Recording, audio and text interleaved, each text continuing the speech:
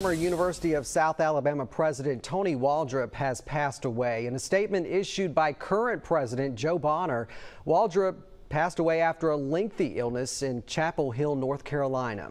Dr. Waldrop was the university's third president, serving from 2014 to 2021.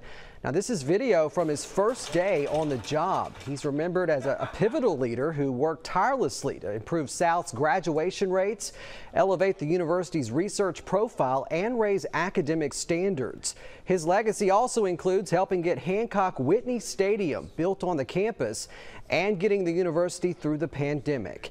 In one of his first interviews with Fox 10 News, he talked about his goal of continuing to increase enrollment. You see people in the marketplace uh, that are doing well, and you know that coming here can prepare them for those jobs of the future. I think it's also something that, uh, fortunately, I came in and the campus had been beautified. We have a lot of nice new buildings. We have a campus that's lovely. Our groundskeepers work hard to maintain the beauty, and that makes a difference to the students. It's also about the faculty and the staff here that are friendly, that welcome the students, that are committed to their success. Dr. Tony Waldrop was 70 years old. He leaves behind his wife, Dr. Julie Waldrop, an assistant dean at the Duke University School of Nursing, as well as their two children.